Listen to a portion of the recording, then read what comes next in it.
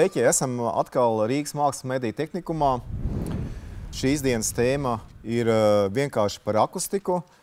Un, uh, mēs griezīsim gan akustikas laika ratu, laikmetu griežos, gan arī uh, Jura Lapinska dzīves ratu drusciņa, lai mēs šīs lietas vairāk, labāk varētu saprast. Mums ir ko teikt, to mēs sapratām pēc iepriekšējā ieraksta. Bija diezgan liela atsaucība, daudz jautājumu. Un, uh, sāksim varbūt tās Juri drusciņu par tevi. Uh, tiem, kas pirmo reizi skatās, pateikšu, ka Juris Lepinskis ir uh, cilvēks leģenda, nevis vienkārši, bet konkrēti tas, kas attiecās uz, kas attiecās uz ierakstiem, kas attiecās uz radiotehniku. Savā laikā arī ienāca iekšā ar tādu sa salīdzinoši jauns, ja, uh, vēl kā puikas gados eh, šajā eh, ierakstu nozarē, var teikt, ielauzās, uzspridzināja viņu un, eh, un pat bija populārāks par Raimonu Paulu, kā to Raimons Pauls teica, ja? Kaut gan arī pats ir drusku, drusku jaunāks. Nu, tad varbūt tās visu pēc kārtas. Tu esi dzimis 1942. gadā Rīgā. Tajā laikā tas bija... Ostlande. Ostland. Trešā Reiha province. Trešā Reiha province, bet Rīgā. Jā, Mierielā. Mierielā. Bet tava bērnība, jaunība, arī vēlāk diezgan saistīta ar Īvandes ielu, četri, tā ir. Un varbūt drusciņi pastāstīja, kā tev izdevās panākt tādus rezultātus, kad jau 11 gadus vēlāk, pat ne 20 gadus vēlāk, tu kļuvi aizvien populārāks gan Latvijā ar saviem ierakstiem, un pat bija tāds brīdis, kad 200 PSRS pilsētas Uh, labākie no 200 PSRS pilsētām rādio inženieri brauc pie teviem, kļūt tavu klientu, uzdeva jautājumus, meklēja atbildes. Un, uh, zināmā mērā, tev pat izdevās manā skatījumā pārspēt uh, Sony un tajā laikā vadošās ierakstu kompānijas. Tātad drusciņi varbūt sākam, kā jau pieteicām, pēc kārtas. Tātad 1942. gads, Ostlande, Rīga, teica māmiņa, Es saprotu, ka tai vietai arī bija diezgan liela nozīme tavā karjerā, tavā dzīves gājumā. Gribu teikt, ka man vienkārši daudzas reizes laimējies. Un es vienkārši tās iespējas, kuras man tā teikt tika padotas priekšā, es nepalaidu garām. Tā kā tur tajā, atceries, skroderdienas silmačos, ko tai Sārai un mazam Josikam. Jā. Es zāre, zāre, zāre, main, ich bin dein. Zāra beigās, ne, zārai teica, jā, saimniec, krapcu, jā. ņem ciet. Jā. Nu, un es nekauturējos ņemt ciet to, ko man padev priekšā. Vispirms man laimējās, nu, es jau daudzreiz esmu stāstījis, man laimējās ar to, ka piedzimta 42. gadā. Jo tad, kad man bija 14 gadiņi, 14, es biju septītajā klasē. Mans tētiņš par labu mācīšanos uzdāvināja man sapņu rādio Rīga 10, ko mēs esam apspēlējuši. Ir uz ekrāniem. Jā, un tā Rīga 10 būtu ar galīgi nekas. Ja, ja pirms tam es nebūtu jau interesējies par muziku, jo pirms tam bija tas Web Super MD39 tētiņš, pirms kara bija nopirts, jo tad viņš bija jauns zēns arī. Uh, Tētiņš ir 8. gadā, 900 dzimis, tad, kurā 42. gadā viņam 24 gadi tikai bija. Ne? Nu, Par tētiņu varbūt tās pēc profesijas tētiņš? Nu, redz, tētiņš, kamēr citi šāva cilvēkus frontē un, un kāvās šāva viens otru, uh, Hitler puikiņš šāva ka Krievus, Latviešus un vispāries, kas bija šī pusē, un savukārt no PSRS puses šāva atkal vācieši, sauc pa fašistiem.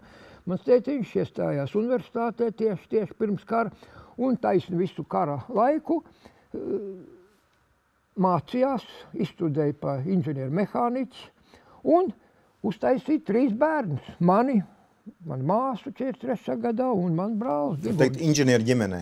Tomēr tam ir nozīmes. Nu, redz, nu, protams, nu, redz. Un tā kā karš beidzās, viņš arī tika ar universitāti cauri taisni, un viss bija kārtībā. Uh, tie, es arī varu tie... pateikt, ka es esmu padomju armijā dienējis vienu, ar, vienu dienu. Pietika no manis, man vairāk tur nebija ko darīt. Nu, pēc tam mēs aizgājām tā, pačupoties, paskatīties viens uz otru uz tiem oficieru kursiem, tur abrēns ielā, kur tagad ir augsts tiesu māja lielā, ja, ja autobus galpunkts. Un, vārds sakot, vienu dienu es biju Bolderā, ja padomju armijā, dienestā. Vienu dienu? Vienu dienu, jā. Nu, pietiek no manis. No rīta taksīt aizbraucu vakarā ar autobusu. Es saprotu, es saprotu, tajā laikā bija iespējams 3-4 gadus dienēt. Un tu nu, tikai vienu dienu, kā tas izdevās? Kam ir grūta galva, tam var būt desmit gadi jādienē, lai sāktu kaut ko saprast. Kam viss pielec un viss ir ātri un viss ir nokārtot un viss ir kārtībā, tie tiek ātri tādam lietām. Nu, ko tur nav ko laika tērēt, un dzīve ir īsts. Nedomājiet, ka liekas, ka dzīve vēl tur tālu, tālu, simt gadi. Jā, es neko citu nedaru, kā staigāju tagad pa bērēm. Katru nedēļu gandrīz viena, divas bērs. 53 gadi, 61 gads Klausies, cilvēks knapi sācis dzīvot. Labi, tētiņš tad, tad uh, inženieris Jā. kādā specialitātē? Inženieris mehāniķis, tas teicu. Un māmiņa? Un māmiņa bedmās nobeidza to māsu skolu un aizsūtīja uz Daugavpils strādāt. Tur man tētiņa pazinās, mans tētiņš tad vēl nemācījās, tad brauca uz ātro palīdzību pa šoferu. Un, protams, jaunie cilvēki sačupojās, nu ko man darīt? Nu, Un viņš kā inženieris nedāvināja tur velosipēdu vai kaut ko citu, viņš uzdāvināja Rīga 10. Nu jā, tas bija mans sapņu rādio. Tur, redz, to viņš man ar noteikumu, ja man uz liecības un dienas grāmatā nebūs neviena trīnieka. Nu, protams, man nebija sevišķi tur daudz jāpūlās ar mācīšanos, un es tāpat zināju jau praktiski visu tās lietas uz priekšu. Teiksim, saistošo fiziku, es kādā trešā klasē izlasīju tur visus tos pekstiņus, kāpēc tur ir Tur bija tādas skaistas bildītas uh, pa, mm, nu, pa Toričelli tukšumu, tur bija līnijas vertikālas, taisnas, bet riņķīši uzlikt virsū Un tā kā skatās, tad ar acīm skatoties, liekas, ka tās līnijas vertikālās nav taisnas, ka viņas it kā ielocās uz iekšā, jo traucē tie riņķīši, kas tur apkārt apkārt. Un viss tādas skaisti, interesants, gudrs lietas bija. Un tās es visu zināšu priekšā skolotēm, varam teikt, priekšā. Protams, lai netraucētu skolotēm, sēdēju stundā un adīju zeķi. nu, Mamīt man iemācīja zeķi adīt četri gadu vecumā. Reāli, reāli adīja zeķi? Jā, pie krēslu, pie krēslu sēdēju un tupēju un, un adīju. Jā. Nu, mamma tētiņa bija darbā, protams, trīs bērni eh, vajag ēdināt un tā tālāk, pēc kā arī sevišķi. Mēs tādi ķipari, brālītim gads tikai bija un māsai divi, man, eh, teiksim, trīs, ja, māsai četri, eh, trīs un man četri. Mēs stāvējām uz ģimnastikas ielas, tagad bulka veikala rindā pēc cukura, pēc miltiem, pēc, pēc putrējumiem, kas tur tikai nebija, vai ne? Un tā tālāk. Nu, kā tu redzi, izdzīvojam un uh, nesūdzoties par dzīvi, esam tikuši tālāk, ka daudz cits ar pie labās skaistās dzīves, kur paliek pa slaistiem, deģenerātiem hmm. un nedara neko un domā, ka viss krīt no debesīm un neko pašam nav ne jādara, ne jātaisa, jāizdomā, jāizpēta un tā tālāk. Jā, tas tiešām, manuprāt, ļoti svarīgs aspekts, ka liekas, ka, nu... Nu, un tā sākās, nu, man laimējās ar to, kā es teicu, ka es 50. gadā, ja 14, jā, 14 gadu vecumā man bija tā Rīga 10 jau, ja, kurai es eh, apmēram pēc nedēļas divām uztaisīju tos īsos viļņus. Tur atkal man laimējās, ka otrajā stāvā mājas saimniekam, Ernesto Unkulim, viņam bija eh, nevis Rīga 10, bet Rīga TS 689. Tāds pats liels pirms Rīgas 10, ko Rādio Rūpnīca ražoja. Un tur bija tie 16, 19 metri. Un tā jau es zināju, ka ir īsāki viļņi pa tiem. Bet kāpēc mēs liek... gribam tos īsos viļņus? Nu, redzi, mēs negribam, ne negribam. Tie, tie īsie viļņi pārsvarā tiek lietoti tur eh, dienvidu reģionos ap ekvatoru, jo tur ir zibens, zibens ir rādio traucējums rada. Atcerieties, ka uh, Popovs to zibens reģistrātoru uh, uztaisīja, kurā tur 1890, kurā 4. gadā jau. Tāpēc mēs 1890. 800, jā. Jā. Mēs uzskatām viņu par rādio izgudrotāju, bet nu, tas bija tikai rādio Daļa rādi uztvēra. Vai šiem īsiem viņiem bija kāds sakars ar dzelzs priekškaru tā saucamo? Daudz par to vispār nē, neko nezinu. Nē, nē, nē, nē. Nu, kāds tur sakars? Rādio viļņi, arī gaisma. Nu, kāds, kāds sakars gaismai? Tie tādi paši elektromagnetiskie viļņi, tikai ar viļņu garumu no 0,4 līdz 0,88 mikroniem sarkanā gaisma, ko lāzera zīmulītim iekšā. 0,88 mikroni. Tas ir mikrometri, kā tagad. Ja?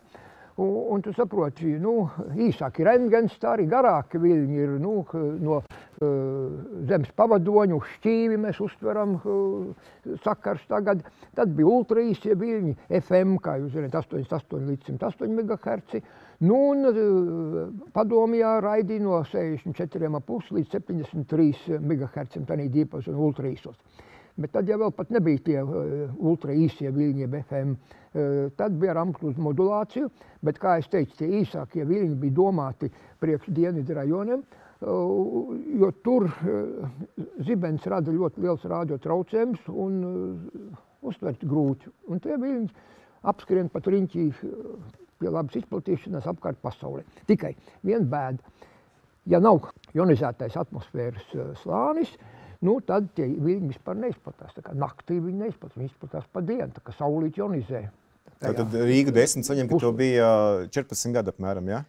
Nu, man vēl pat nebija 14, 13 gadi. 13 14 gadi un paliekās pie 6. gada 15. jūlijā. Tas nozīmē, lai varētu... Tēciņš Rīga 10 uzdāvināja jau janvārī, 19. janvārī Rīga 10 bija mājās. Viņš pat nevarēja arī mocīties, viņam arī gribējās, jo viņš bija dzirdējis, kā skandēlē. Bet īsie radio. viņi kaut ko vairāk piedāvāja, tā kā vai ne?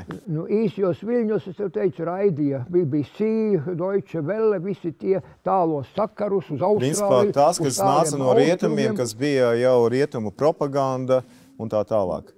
Nu, visiem ir sava propaganda. Mēs tagad ar kaut ko propagandējam, vai ne? Slikta, laba. Protams, tas, protams. Nu, nu, bet tas, tas, bija, tā bija, tas bija aiz dzelzs priekškara nosacītā. Nu, kāds tur dzelzs? Tur nebija nekāds dzelzs priekškars. Tā viss ir tāds tēlaini cilvēku muļķošana. Pa dzelzs priekškariem, ka pa radio viļņa nepazīst šķēršļus. Tieši tā. Jā, protams, metāla plāks ne, neiet cauri, vai ne? Vadošam slānim, bet atstrojās no viņa. Un redzi, man laimējās, ka tētiņš noīrēja dzīvokli tur tajā Ivānas ielā 4, kur uh, vācu laikā dzīvoja, uh, kas viņš bija pa apakšpulkvedis vai augstākais, no augstākiem virsniekiem Hāzners, uh, Vilhelms, ja, nu tas, protams, vāciešiem aizbraukt uz Vāciju, dzīvoklis bija tukšs un man tētiņš noīrēja.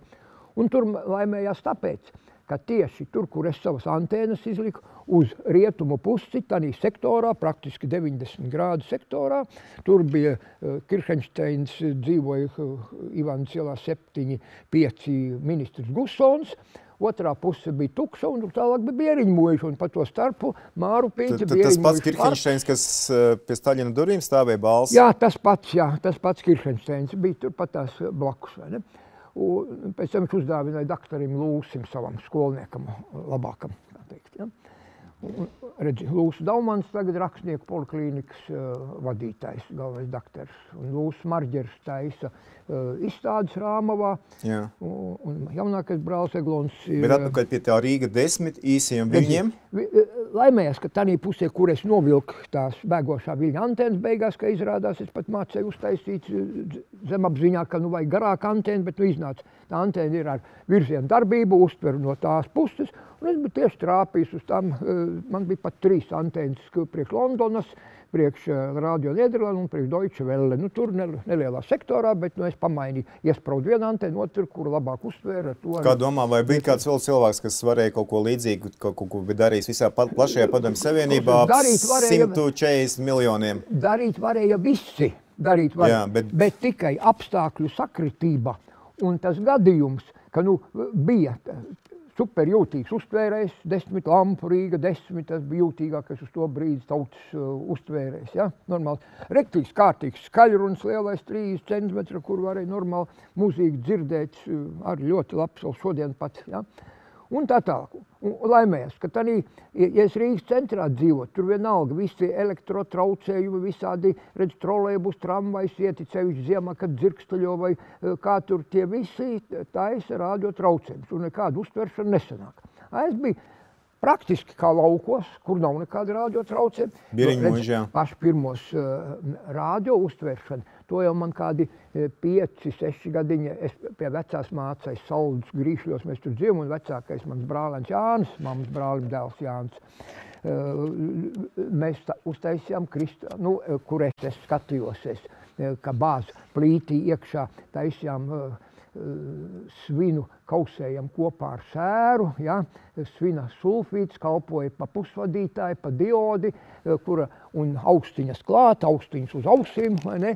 Un ar kristāla detektoru klausījāmies vietējo staciju. Nu. Principā stāsts ir par to, kā tu to dabūji visu gatavu, un tad bija šie... To es gatavu kā... nedabūju, tur es biju skatītājs un, un mācījos un skatījos, pašam, protams, Jā. ļoti gribējās, bet tad, kad jau man bija 14 gadi, tad jau es biju visus rādioaparātus izprovējis, biju pamēģinājis, kā tur tas augšā pie saimnieka bija lielais rādio, tur bija tas. Man jau interesē ielīst, kas tam trusītim vēdra. Jā, bet... Tas riepiņš dzied vai ne, ka jā, tur būtu vīlīte. Pa to lācīti. Interesē, kas viņā iekšā. Tad kopā ietu bitēs. Jā. Bet tā bitēs iešana bija principā arī viens apstākļus, kas man personīgi ļoti, kā saka, nu, liekas gan izvai seriāls un neticams, tas ir šis te faktors, kas, kas ir saistīts ar saules aktivitātes periodiem. Nu, un eh, kā izrādījās, un, ka... Un šī ir nākošā laimēšanās. Jā. Saules aktivitāte, kur es bildē tev ir saules aktivitāte. Jā. Uz saulītes katru 11 gadu periods šai aktivitātei ir. Pēc 5,5 gadiem ir minimums, pēc 5,5 gadiem atkal augšā, pēc 5,5 gadiem lejā, pēc 5 gadiem augšā. Un izrādās, ka tas 58. 59. gada maksimums bija nu, kā nasts apgalvot lielākais cilvēks vēsturē, vispār zemeslodes vēsturē būtu. Bet nu, katrā ziņā pēdējo 200 gadu novērojumu laikā tā bija vislielākā aktivitāte. Tas nozīmē, ka tas ionizētais slānis bija visbiezākais, visstiprākais, un tie rādio viļņi pret to ir arī attēls būs, jā. Un manā antēnā iekšā. Un spēcīgs signāls, es saku, es klausījos Londonu, uh, Deutsche Welle un Radio Nederland. Tā kā praktiski mēs Rīgā šeit uz vietas varam uz FM dzirdēt vietējās Rīgas radiostacijas, Latvijas rādio 1, 2, 3, 5, rādio skonto un vispār tādā kvalitātē es klausījos, nu, mono bija tikai, nebija stereo. Tā. Nu, tik vienkārši tas ir. Nu, jā, tu, principā tas bija... Apstākļu sakritību, un es viņus vienkārši izmantoju īstā brīdī. Nu, pa magnetfoniem. Uh, Uh, nu, Bet kā tu varēji nojaust, ka, ka, tas, ka tur tas tā saules aktivitāte, tu, tu, tu nebija nekāda sakara ar, Andries, ar NASA vai vēl Andri, kaut ko? Ne, nekāda nesakara, neko. Es dzirdēju, uh, otrajā stāvā saimniekam, mēs taču gājām augšā pie saimnieku un klausījāmies tur pēc tam Amerikas balss un visus tiem īstiem viņiem, jo tur nebija traucējumi, jo padomīs aparātiem uh, praktiski gan rīz nu, 98% iekšā neliktos īsos viļņus, bija tikai līdz 25 metriem. Uz tiem 25 metriem 31 tur bija zāģi, bet tur nezāģēja. Tur varēja klausīties bez kādiem traucējumiem, bez kādām sevišķām problēmām. Pavisam vienkārši, jā. Jā, pavisam vienkārši. Redz, un tad jau es zināju, uh, ka ir īsāki viļņi, un vienmēr interesē, vienalga arī aparāti, kuriem ir 25 metri, tur 31, 25 un beidzās. Nu, bet kas tālāk? Kas tālāk? Tas ir tas jautājums. Eh, kādēļ man ir vēlme uztaisīt teiksim, eh, radio, magnetofonu, eh, nu, dažādas radiotehnikas muzeju, lai tas nebūtu visu vecu krāmu noliktava, bet lai tas būtu mācību bāze un intereses radīšanai maziem, sākot maziem bērniņiem, skolniekiem un tā tālāk. Jo tu saproti, ja tu nezini, daudzas lietas pasaulē, kas ir interesants un vajadzīgs. Un tev neviens par to neparāda, nepastāsta, un tev nav iespēja to redzēt. Tu arī tālāk neinteresēs. Nu, tu nezini, ka ir tāds medus, teiksim, jeb ķirši, jeb aviņu zapte. Ja? Jā. Mūžā nedzird, ne tev siekaltāk ieraugot viņu neko. Bet, ja tu esi pagaršojis, tu zini, cik tas ir garšīgs, tev uzreiz, kā Paulovs sunim, nosacītais refleks sāks iekaltecēt, vai ne? Gribās tev, tu zini, ka tas ir labs, vai ne?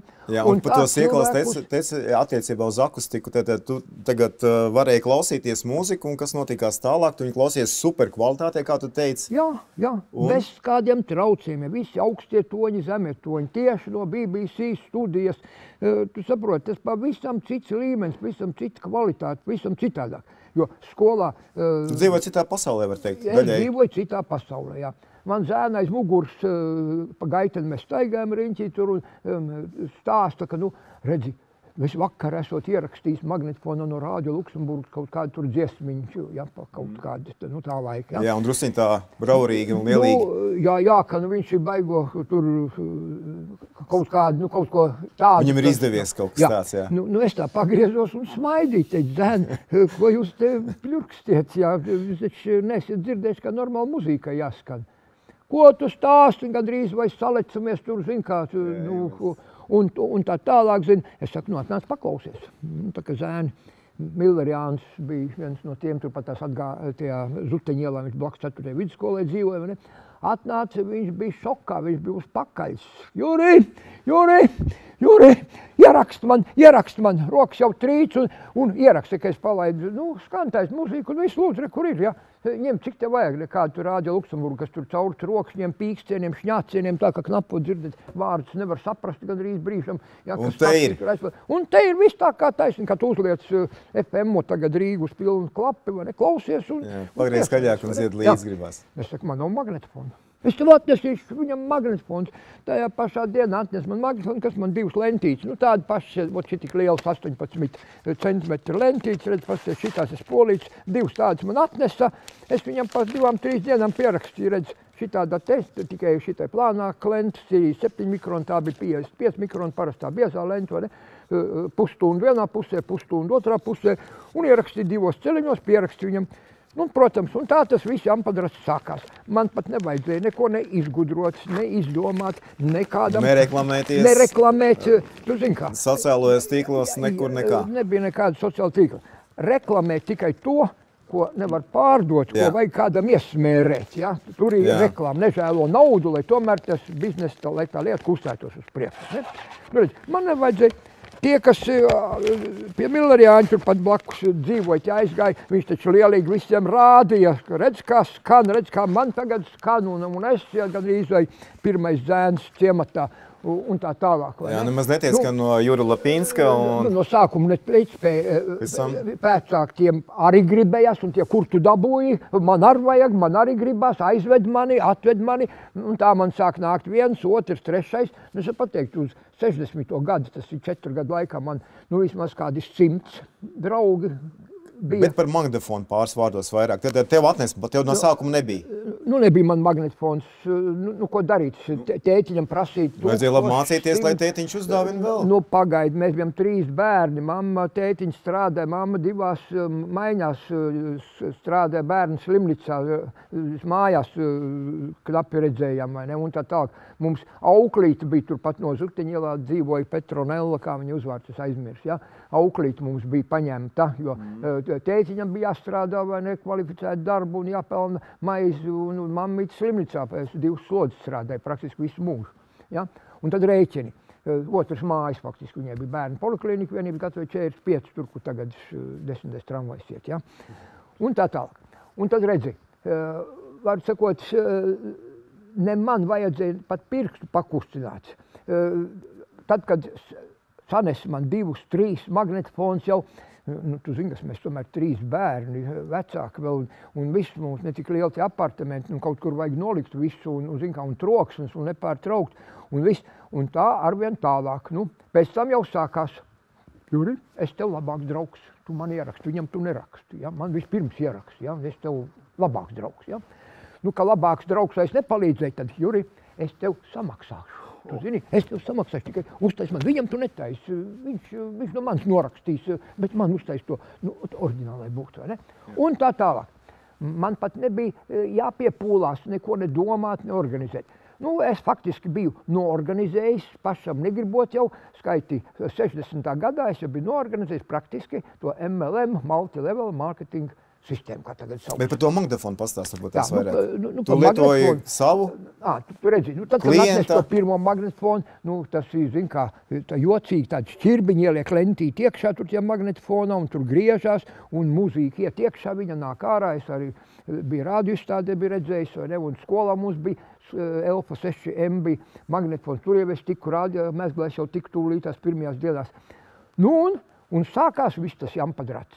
Nu, protams, Eh, es sēdēju klasē, es no rādio mezglu otrajā stāvā atvilku divus vadiņus līdz klasē. Eh, pie vienas eh, augsts pieliku augstiņu šitā te sēdēju. Ar vienu aus klausījos, ko skolotājs stāst, ar otru klausījos no Deutsche Welle, BBC, Listener Choice, pēc klausītāju izvēles koncertu. Tu zini, baigi nu, forši man bija mūzīgas pavadībā, skolotājs runāja, stāstīja, un es viņam brīžam priekšā varēju teikt ar kaut ko. Redzi, un tā tālāk. Un tā viss tā lieta gāja plašumā. Nu, tad rēķini, ka uz 60. gadu man apmēram kādi simts uh, cilvēki pie manas muzikas mīlētāji nāca. Ja? Lai ierakstītu? Un, jā, lai es ierakstītu. Ja? Uz nu, viņa magnetofonu? Nē, nu tad jau, tad jau redzi, tad es tajā pašā 8. klasē, kad es biju 4. vidusskolā sākiet, tādā pašā stāvā, gaitvinī, vienu klasu augstāk, 9. klasē mācījās Šumahers jūras. Šumahers man asociējās ar to. Šumahers ne autogonšķīgs, bet uh, institūtā pasniedzējs, viņš bija politiskā institūtā, mēs viņu kopā mācījāmies, ja, institūtā, un uh, viņam bija radinieki ārzemēs, un uh, tante vai kas tur bija atsūtījis viņam Bill Haley, Rock Around the Clock plati. Nu, tad tas nesaucās nekādu rokenrolu, otrā pusē tai platei, uz aizmugures bija skaisti, pirmā pusē tur tas pulkstenis zeķītēm, un, un otrā pusē Foxtrots bijis Bill Haley. Ja, tāds, Šitā bilda varētu būt. Vienkārši. Nu, nu, nu, nu tāda nebija, bet nu, līdzīgi bija. Ja, katrā ziņā. Vārdu sakot, viņš man, jo es iepriekšējā vasarā, es pa vasaru strādāju elektromehāniskajā rūpnicā, nu, Kristiāna Barona ielas galā pašā tur. Ja? Un tur mēs ar cirvīšiem zēni sitām no ķieģeļiem apmetumu veco nost un mūri un gatavojam ķieģeļus, krāvējam kaudzītē, lai varētu uztaisīt jaunos korpusus. Un tad jau tur vienā, vienā korpusā jau taisīja atskaņotais akordam un, un saktai un kam tur, tos, tas brūnos, tos parastos. Nu, ot, tur es salasīju no izmestām detaļām elektromotoriņas, polītes, gultlīšus, rullīšus un, un, un visu, un sastiepu mājās, vai ne? Un, Nelamāja valdību un kaimiņus vienkārši darīja. Nu, taisīja atskaņotājs, saliku kopā. Tad pirmais vienu. bija atskaņotājs tev vai magnetofons, ko tu uzbūvēji? Nu, pirmais bija atskaņotājs, jo Jūras man to platu uzdāvināja, jo viņam bija plata, bet nebija atskaņotāji. Mani interesēja, es pirmās plats, ko es redzēju, man augšā jau saimniecei bija kā šodien atceros, tādas mīkstas, locāmās, ne uz ribām tās rengenplats, bet nu, kaut kāda plasmas līdzīgs kaut kas bija kaut kāda, ja? Blue Moon of Kentucky un vēl kaut kāda. Nu, un, protams, nu, likt gribējās nospēlēt, jo saimniekam uz tā Rīga T689 arī nebija atskaņotāja augšā, vai ne? Un es paņēmu, un, nu, kā, nu, kas tur ir, sameistruoju, uztaisīju, saskruvēju, pieslēdzu un kondensātoru motoriņam klāt, motoriņš griezās, rullīši virsū, disks virsū, tonārums virsū, galva iekšā. Tad, principā, tev bija divas iespējas. Klāt pie rādi uztvēra iebāšu piezo galvu iekšā Rīgai desmit un skan tā, ka blīkšķi vien, vai ne? Un viss. Tu uzbūvēs skaļruņus.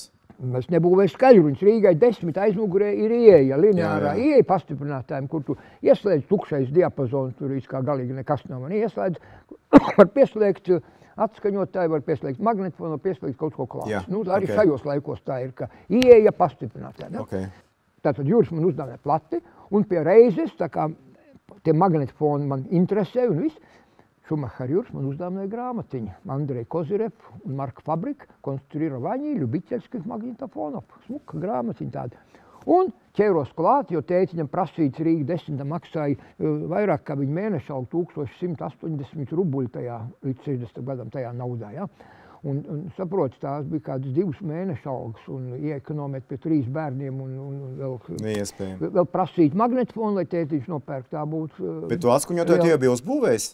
Jā, to es uztaisīju tajā pašā pusē. Tur bija kāds prototyps, vai tu principā nu, viņu... Pro... Es, es taču strādāju elektromehānisku rūpni, tur visas detaļas bija, es taču redzēju uz rādio uztvēriem, kā tu To, ko veikalā, nu, to tu uzbūvēji pats? To, to es uzbūvēju pats mājās, saliku no tām izmestajām uh, it kā brāķa detaļa, kaut kas mm. tur bija kāds stūrīts, salocīts vai jā. krāsa nostoja kaut kas tāds, vai ne?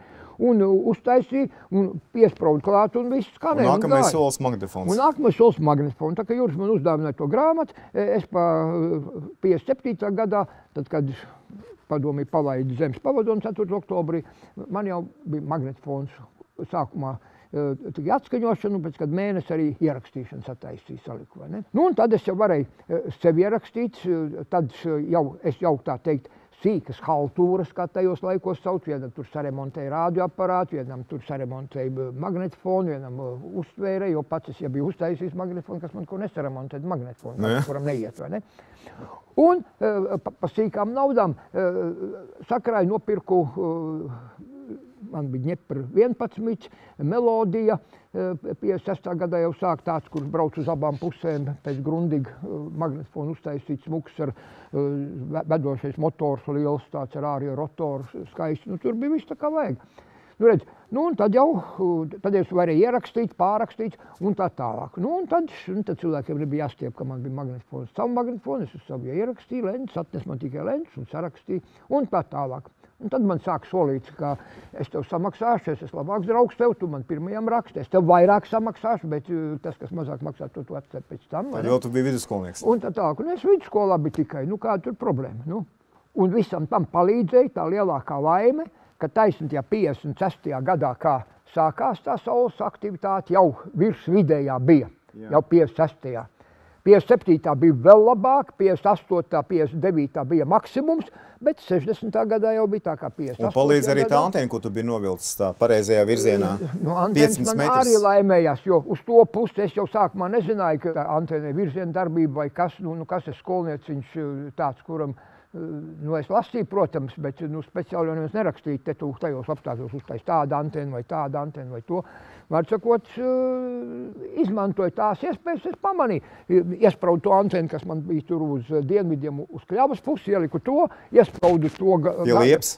To, ne, tā bija kļava, kas bija tā pirmā, kur antena bija tur. Jā. Un liepas? Un, un liepas tās, viss tas garais bieriņu mūža parks, viss tur taču bija kādas 20, 30. Mums te ir arī attēls, eh, parādīsim, jā. Eh, liepas tur bija. Ne? Un, mm. un, un pa tā mēs novilku riktīgi, tādu 400 metru ar garantiju bija. Gara antēna. Un tas rezultējās, tas strādāja tik ilgi, kamēr bija tā saules aktivitāte. Jā, un es iespraužu vienu antēnu, iespraužu otru antēnu. No to vienu tā, nu, var dzirdēt, ka ir, bet iespraužu to otru un signāls uzreiz bija tā kā uh, māja. Nu jā, principā to var varbūt atvaino, ka es tādu salīdzinājumu izteikšu, ka tas, tā saules aktivitāte veidoja kaut ko līdzīgu tādu, nu, kā nosacīta ledu, ledu debesīs, jā, Un tad, kad viņa pazūd, tad pārējais nu, kapacitāte nu, samazinās. Tie, tie rādio, viņi aiziet ledz, kosmosā, aiziet, viņa aiziet taisno, kosmosā, viņa aiziet projām un neatcerojas un vairs apakaļ antēnā nenāk nekas. Un ko darīt tālāk? Neko, tā kā tumšs bija, tad, tad, tad es varēju pārakstīt lentes, gulēt, mācīties, darīt visu ko citu, vai ne? Ja, bet pa dienu, pa dienu es sportoju, rakstīju lentas, rādio. Jā, labi, ar šo mēs beigsim šo vienkārši laika limits mums ir, bet mēs turpināsim tātad nākamajā, nākamajā sērijā, tad teikt, ja nākamajā raidījumā būs stāsts, kas tad notikās tālāk par to, kā tad, ko darīt tad, kad saules aktivitāte beigusies, lai cilvēks zina. Un tev bija risinājums, un šis risinājums principā atkal bija jauns izaicinājums. Man nebija risinājumu. Andri, man nebija risinājumu, man vienkārši dzīve piespieda. Jā. Jo es biju sarakstījis 150 lielās lentas, pusotru stundu. Jā. Katrā pa 40 dziesmām. Tas ir 6000 dziesmas. Man vispirms bija problēmas, jau sākās ar to, ka vairs neko jaunu es nevaru ierakstīt. Protams, es eh, jau uh, strādāju 60. gadā, iestājos Politehniskajā institūtā. Ja. No 1. oktobra strādāju Popova radiorūpnīcā. Tā Jā. saucās uh, prakses savienošana ar mācībām. Ja vakarā gāju uz lekcijām institūtā un pa dienu visu pilnu darbu dienu strādāju Popova radiorūpnīcā veselu gadu. Tas bija jādara.